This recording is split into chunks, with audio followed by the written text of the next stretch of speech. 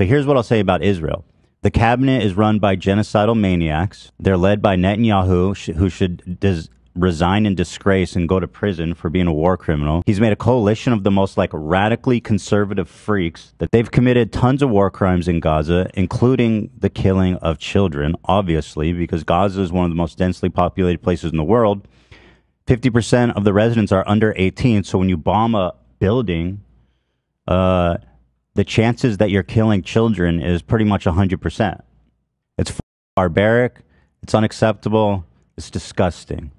I've seen videos, you know, I saw videos of Palestinian dads holding their his dead like 5-year-old daughter. I mean,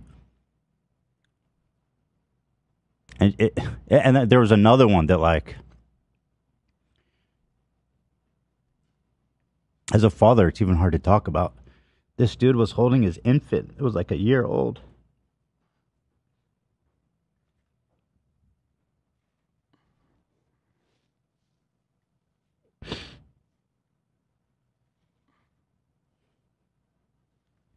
And he was like patting her on the back and saying like his final goodbye. I mean, it was he's holding her like she's alive, like he's just burping her or something.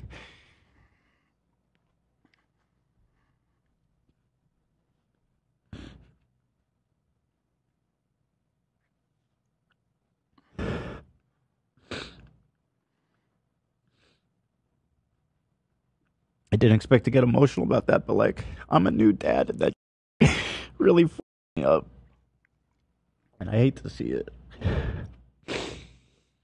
It's not right. I think people in Israel that support the government and the government need to watch that. I think Israel shutting off water, power, and food to Gaza is insane. It doesn't even make sense. Like, what's the end goal there exactly? Assalamu alaikum.